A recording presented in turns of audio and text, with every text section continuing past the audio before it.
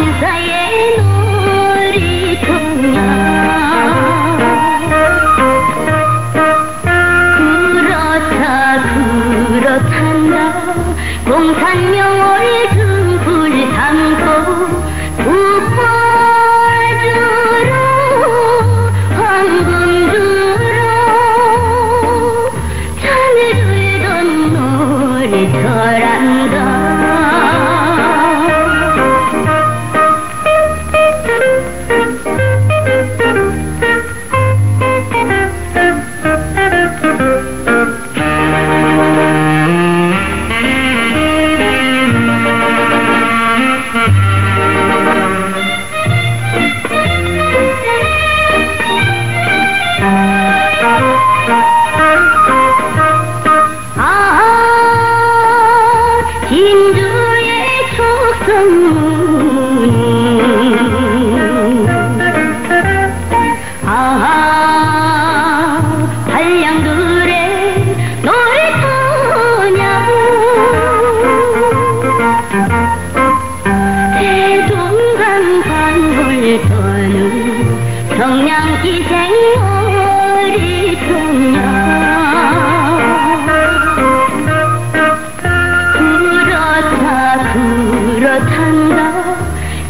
한 명을 달발 구면 가야금에